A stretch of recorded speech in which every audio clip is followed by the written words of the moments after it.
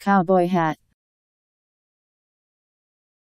A broad brimmed hat worn by cowboys, ranchers, and farmers, common in the western United States and Mexico.